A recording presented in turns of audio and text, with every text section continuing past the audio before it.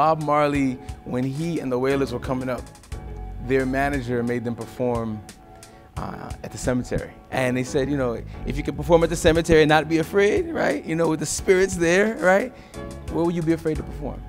So in New York City, I'm not gonna take the class to the cemetery, but I will take them to the West 4th Street subway stop, to the Astor Place subway stop, down to Bleecker. And if you can actually find it within yourself to actually share your work in that space, what stage you can be afraid of?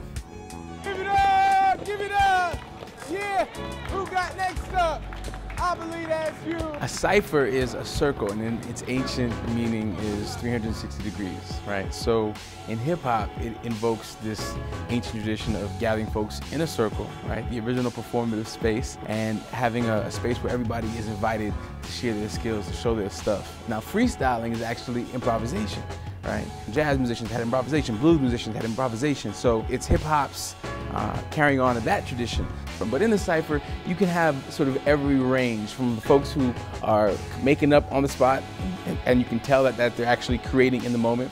Then folks who are not sharing anything that is improvisational, it's entirely written, it's prepared. Uh, folks who actually will perform other people's rhymes.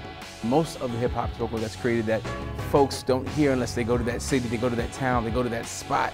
That work actually is the verse of our time, it's the language of our time, and it's capturing the zeitgeist. And you know, we joke all the time that sometimes there's more there's more rappers than fans in some situations, right? But I think to have more poets than than than audience, I think is not a bad thing because it's it's not just about what I think corporate America has made many people believe it's about. At its essence, at its heart, the beauty and power of it is this culture has come out of people who were, were considered thrown away, you know?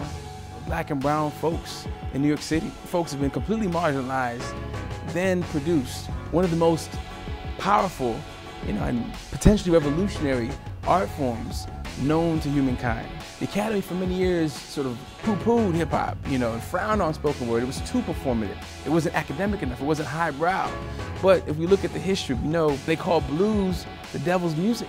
They call rock and roll the devil's music. So every black music and cultural form in America has always been initially despised and ultimately embraced. And that's the, the moment we're in with hip hop and spoken word.